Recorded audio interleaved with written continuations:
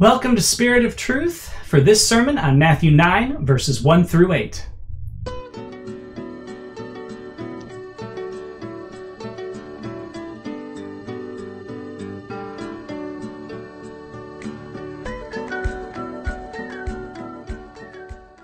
And now let's join for a word of prayer. Lord, we praise your name. We thank you, Jesus, for everything that you do. We thank you, God, for our country.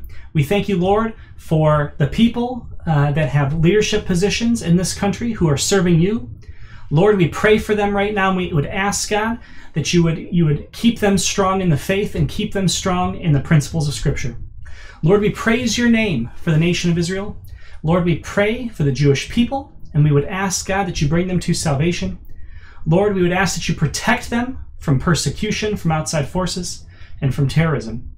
Lord, we thank you for all of the missionaries worldwide, and we would ask, Lord, that you would protect them now, that you would allow your message to go forward through these missionaries. Message that, Lord, you have come to save, that through your death on the cross, you can save people from their sins. Lord, I praise your name and we thank you for the scriptures, the record of which is your very word. And Lord, I thank you that these scriptures are alive and at work today. In your name we pray. Amen. And now let's move to the reading of the scripture Matthew 9 1 through 8. So he got into a boat, crossed over, and came to his own town. Just then, some men brought to him a paralytic lying on a mat. Seeing their faith, Jesus told the paralytic, Have courage, son, your sins are forgiven. At this, some of the scribes said among themselves, He's blaspheming. But perceiving their thoughts, Jesus said, Why are you thinking evil things in your hearts? For which is easier to say, Your sins are forgiven, or to say, Get up and walk? But so you may know that the Son of Man has authority on earth to forgive sins. Then he told the paralytic, Get up, pick up your mat, and go home. And he got up and went home. When the crowd saw this, they were awestruck and gave glory to God who had given such authority to men. Now, I would like to argue that the main idea of these verses is as follows. In these verses, Jesus demonstrates his authority to forgive sins through the powerful display of healing the paralytic. The Pharisees and scribes were quick to judge Jesus and condemn him for claiming to be God yet they were stopped due to the awesome display of healing power. And now let's talk about the exegetical portion of the text. So in verse 1, we see that Matthew is following Jesus from Gadara back to his own town of Capernaum. And we get that from Mark and Luke. And all three of the Gospels are going to place this event immediately prior to the calling of Matthew, which happens in the next verses. So in verse 2, we see a large crowd gathering, and so much so that no one could actually get into the house where Jesus was preaching and teaching. Again, we see that in Mark. Luke adds that several Pharisees and law teachers had come uh, from the surrounding areas. So we've got Pharisees, we've got teachers of the law, we've got uh, tons of people. There's a big crowd gathering here. And essentially, the place was full of curiosity seekers and needy people. So the paralytic's friends had to resort to extreme measures to get in to see Jesus. And so Mark and Luke record that they dug through the roof and that they lowered the friend down. And so again, what does this show? Well, this shows that the crowd was indifferent to the needs of a paralytic man. That's a problem right there. The people were so hungry to see probably a miracle or something that they they didn't or they just even hear Jesus or see him or something that they were indifferent to the needs of suffering of those around them. And it also shows though that the friends were absolutely determined to get their friend to Jesus. Now, interestingly enough, it's actually not that hard to break through a roof in, in those ancient times you essentially would you know kind of climb up to the top and you'd move whatever the roof was made out of apart and you could lower somebody through. So it wasn't that difficult. It's not like breaking into a house in the modern day where it's you know essentially wood and, and roofing tile and all that kind of thing. You know you could break through it pretty easily. So what then happens? Well jesus sees the faith of the friends and he offers three comments three expressions of comfort and joy to the paralytic. He says first take courage. In other words there's a comment that something good is about to happen. Something positive is going to happen. Just take courage. Take courage. Don't be downtrodden. Things are about to change for you. He addresses him as, as my child, or some translations say my son, though it is not uh, a huios, it's not son, it's child. But it's an address of affection and tenderness uh, toward the condition. Uh, again, literally it's child, but there are reasons grammatically for the translation into son, to the, the genderizing of it. So he, he gives this, this, you know, I'm taking care of you feeling to him. And then finally, he forgives his sin. He dismisses any guilt. And most importantly, There's no longer any need for any restitution for the offense. There, it's a salvific statement covering the condition of sin in every human that every human is in until redeemed by Christ. Your sins are forgiven. And it's a demonstration of Jesus' authority over fallen humankind. And there are very large implications of this, as we'll find out. In verse 3, the scribes and the Pharisees immediately begin to challenge Jesus' right to proclaim the forgiveness of sins. Because again, Jesus' declaration, it constitutes ultimate authority on all questions of faith and practice. In other words, when Jesus says this, it's trumping the Pharisees' teaching. They do not have the authority to forgive sins. Jesus is claiming he does. Therefore, Jesus' authority is supreme. And so, what do the scribes and the Pharisees do? Well, they conclude that Jesus is blaspheming because he forgives sins. Something that, again, only God can do. And they have verse references for this. For example, let's take a look at Isaiah 43 25. It is I who sweep away your transgressions for my own sake and remember your sins no more. Very much divinity claim there. Only God can forgive sins. Psalm 103, 10 through 14. He has not dealt with us as our sins deserve, or repaid us according to our offenses. For as high as the heavens are above the earth, so great is his faithful love toward those who fear him. As far as the east is from the west, so far has he removed our transgressions from us. As a father has compassion on his children, so the Lord has compassion on those who fear him, for he knows what we are made of, remembering that we are dust. So even you have the father child thing going on in that verse. And again, God forgiving sins. Isaiah 118. Come, let us discuss this, says the Lord. Though your sins are like scarlet, they will be as white as snow. Though they are as red as crimson, they will be like wool. And Jeremiah 31 34. No longer will one teach his neighbor or his brother, saying, Know the Lord, for they will all know, know me, from the least to the greatest of them. This is the Lord's declaration. For I will forgive their wrongdoing and never again remember their sin. Micah 7 9. Because I have sinned against him, I must endure the Lord's rage until he argues my case and establishes justice for me. He will bring me into the light, and I will see his salvation. Only God knows what's in the heart of men and, and repentance, and thus it's a divine prerogative to forgive sins. And here Jesus is doing it. This is a very clear explanation or, or uh, putting forward of Jesus' divinity. Now, Jesus then perceives the hearts of the scribes. Matthew says, knowing their thoughts. Mark says, aware in his spirit. Luke says that Jesus is aware of their reasoning, okay, but essentially knows what's in their heart. This is demonstrating the sensitivity of the true spirit filled servant of God. He knew what only the divine spirit could reveal the inner thoughts and intents of the human heart. He confronts the scribes then and says, Why are you thinking evil? Note, it's not confusion or misunderstanding. Why don't you understand this? Why are you misunderstood? He says, No, why are you thinking evil? Evil. Demonic thoughts. Why are you thinking evil? Again, demonstrating there's no intrinsic good in man. This is an early resistance to Jesus from the leaders. And again, in verse 5, we find this question is basically rhetorical. He's displaying a supernatural power consistent with the Messiah who would heal both physical infirmities and spiritual diseases as well. So he says, which is easier to say? Forget your sins are forgiven or take up your mat and walk? Well, clearly your sins are forgiven. Why? Because your sins are forgiven. You can't, how do you check that? You can't check that. So he says, well, obviously it's going to be take up your mat and walk. But take up your mat and walk, why is it harder? Because it can be tested immediately afterward. Okay, it can be tested immediately afterward. So rise and walk is the more difficult comment. And when the guy gets up and walks, he, he did this so they would know that the sins are forgiven. In other words, the surety of one is being used to verify the other. So the healing miracle verifies the forgiveness of sins. And here's the question if he blasphemed, well, one, how could he forgive sins? And two, where does he have the power to tell somebody to get up and walk and heal a paralytic? You see, if God's truly with him, if God is the one behind this, then he must be speaking the truth. And so in verses 6 and 7, he verifies the reality of his forgiveness through the demonstration of his healing.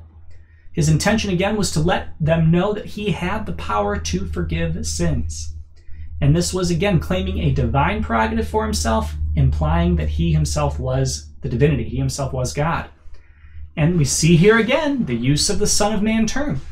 It's associating now with the forgiveness of sins, and the healing is even a stronger link to the divinity seen in Daniel 7 13 through 14. The Son of Man again is given dominion and glory and a kingdom over all peoples and nations. And Jesus' demonstration of authority over disease and sin is going to testify to that dominion. He tells the man to rise and walk. He does. Everyone is amazed, but there's no recorded response from the scribes and the Pharisees. Their hearts are hardened. They don't want to see it. They don't want to hear it. They don't want to listen. And so the multitudes in verse 8 were in awe and glorified God because they understood that God had given authority to Jesus. And the fear there is not terror, but awe in respect to the phenomenal power and authority that was put on display. And so let's move to the expository portion of the sermon. What we see here is sensationalism versus true spiritual concern. How often do we flock to something because of what we might get? Because, oh, it's a good sermon, or oh, it's a good message, or oh, it's he makes me feel good, or, or, or whatever it is, or oh, there's healing miracles, we'll fly here. It's just sensationalism. It's fleeing to wherever we think is gonna gonna help us next. Versus true spiritual concern, that of the friends. And the people in the audience didn't respond to the fact there's a paralyzed guy. Let the paralyzed guy through to be healed by Jesus. He's clearly healing everybody. But they wouldn't do that. And so, again, even in our own hearts, we have to check this type of thinking. We cannot simply flee and go after sensationalist things. Oh, I'm going here because the Spirit's move is there. Or I'm going here because there's healing miracles there. I'm going here because there's prophecies here. I'm going here because I like their children's ministry. I'm going here because I like their music and their, their praise time. That's sensationalism. What is the true spiritual concern? Caring for those who are sick, caring for those who are needy, making sure they have access to the same things we have access to in terms of church and God. What about even supporting our communities in local church and saying, you know, we could we could just go and get fed somewhere, but maybe we need to also look to loving our communities. Again, sensationalism versus true spiritual concern. There's also the purpose of messianic healings. These healings, when you look in prophecy, they were prophesied that they would happen around the Messiah, and the Messiah would do them. Why? To validate who the Messiah is. They also are validating the Messiah's works. The Messiah has the capability to forgive sins, so he did miracles in order to validate his ability to forgive sins, to show them that this was actually a real thing. So we're getting the purpose of messianic healings in here, the fulfillment of prophecy. We're seeing demonstrations of faith in here. What was the faith? Well, again, for whatever reason, the other people did not let the paralytic in. Maybe they didn't believe Jesus would heal him. Maybe they just didn't care. I mean, either one is bad. But the friends were so convinced that Jesus would heal him if, if only they could get in, that they found a way in. And that's a fascinating thought. That they were so convinced, their faith that Jesus could heal this guy was so strong, they found a way in no matter what. And this is an interesting uh, uh, juxtaposition I want to make. When we're called to salvation, it's an irresistible thing. All of a sudden, you get this thought, feeling, spiritual concern in you that Jesus can save me.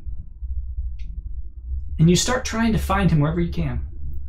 You find him in scripture, you find him in churches. You start seeking him out. He's seeking you, he calls you and draws you to him. And the, the person who's not who's not born again, the person who's not saved, the person who doesn't want God, has no true spiritual concern for the gospel or for God. He simply doesn't want to search or seek out God. And so it's interesting here when someone comes for sensationalism, they're coming for the thing and not the one who gives. Versus somebody who's got true spiritual concern is coming because they know who the person actually is and they want to be with that person. So it's very interesting to see sensationalism versus true spiritual concern. I think sensationalism is rampant in the modern American church. What about the reality and forgiveness of sins? Forgiveness of sins, when you talk to people who just got saved, it's always this sort of question. Even some people who've been saved for a long time still have this question Am I really saved? Has God really forgiven me? Maybe I've done something too evil for God to forgive me, or maybe I've ruined my life, or I've, I've hurt other people, and so now I can never do anything. And, you know, my sins are basically keeping me down, and God really, can He really forgive me? And you have those existential thoughts. People do have these existential thoughts. And I think it's vital to read these verses and see that, yes, God does indeed forgive. And the surety with which he forgave is the same surety that that person got, took up their mat and walked. It is certain. Your sins are certainly forgiven if you profess faith in Jesus Christ. Certainly forgiven. You are saved. You have eternal life. You have passed from wrath to grace. And what about the response from the darkness of the world? Well, again, we see the Pharisees here. The Pharisees are, are, are hearing Jesus, they're listening, they're disagreeing, and then he does a healing and forgives sins. And I want you to think about this. What should the response be? God sent his son to you to forgive your sins. And their response is, Get out of here. How can we kill him? How can we get rid of him? It's a threat to their power and authority. But I want to bring this into the modern day as well. To the non Christian, Jesus has come to save you of your sins. What about that is offensive? It seems very clear that there's only good that comes from this. There's a perfect world that's going to come. There's eternal life. There's healing. There's forgiveness of sins. There's nothing wrong. There's nothing bad except that there's something in the non Christian's nature that hates God and wants to rebel. And it's irrational. There's no way to defend it. Why in the world would you want to rebel against an all powerful, all good, all loving, all knowing God? You wouldn't. But there's something in the nature. It's very clear in the Pharisees there's something in their nature where they just think evil about God. They hate God. They claim to love God. They claim to follow His laws. They claim to, oh, we are Yahweh worshippers. How could we worship anything or anyone else? And yet, the same person who says that hates the Messiah and wants to kill him. This is why it's really important when we understand today uh, people who claim to be Christians and yet have funny thoughts about the Messiah or have funny thoughts about certain aspects of things. And it's like, mm, funny thoughts with the Bible. Well, the Bible's just a human book. Really? because you're claiming to follow Jesus Christ, but you're denying his word, and that seems very those seem contradictory at a fundamental or core level. So the reality is the darkness of the world may look and try to look like Christianity, may try to look true like true believers, but the reality is they hate the Messiah. They would want anything but the Messiah. You get this from people who say, Well, I could never, you know, I'm a Christian, but I could never worship a God who would send people to hell. Well, then you don't worship that. You've literally just told God you're not going to worship him then. See, it's these types of things, these response from darkness, their heart's still darkened. I don't believe they're still saved. If they can make those types of comments, I think there's a serious salvific issue at heart. Now, what about the Christocentric setting? Well, again, we have the Son of Man. We have this divine, uh, divine epithet being used, Jesus of himself here. We have Christ's divinity seen through the forgiveness of sins. We have Christ's authority over the scribes and the Pharisees and their teachings. They're mere interpreters of the law. He's the giver of the law. He's the one who wrote the thing. He's the one who makes the covenants. So, you know, it's the exousia of Christ given by the Father. Christ's authority is very much on display here. And we can see that again in the dominance of his teachings over the scribes and the Pharisees. Now, in terms of application, uh, Jesus has the authority to forgive sins, and he has forgiven the sins of those who believe in him. The question is, what is our response? And I want to go ahead and dive into this a little bit more in depth. Our response, first, should be gratitude, thankfulness, praise, and worship. Every day. Every day we should be reminding ourselves of Christ's sacrifice on the cross. There's not a single day that goes by that, that shouldn't hit our minds at some point and we express some form of gratitude or thankfulness to Him it should provoke us through the Spirit to repentance. And in fact, it does. We don't want to sin anymore. And so we should rely, again, on the Word of God and on the Spirit of God to lead us out of temptation and into His truth and His light and His holiness. How else? It should provoke us to want to share the gospel with people. As difficult as that often is, especially in today's environment, it is very hard sometimes to share the gospel because people just hate Jesus. They hate the gospel. I went up to people at a local university and I literally asked a person, Jesus dies for your sins so that way you could be perfect in heaven and on the new heavens and new earth for eternity with the all loving God. What about that is offensive? The guy couldn't respond. But he, he, he didn't want it anyway. Something in him and his nature didn't want it. What's our response? Well, the born again response is to accept Jesus. This is why you need a born again heart, because you won't accept him without it. And so we can make decisions and ask God for it, but we need that desire for God that He gives us. We need the faith that He gives. And in conclusion, I would like to say this these verses serve as a reminder that Jesus forgives sins. As believers in Christ, we are no longer under the penalty of sin, as Jesus has taken the wrath of God upon Himself in our place. And so let's go ahead and pray. Dear Lord, we thank you for your death on the cross. We thank you, God, and we praise your name. We praise you, Lord, that our sins are truly forgiven with certainty and that we have to look forward to a life everlasting with you and the church. In your name we pray. Amen. Thank you so much for joining us here at Spirit of Truth Church, I hope you have a wonderful day.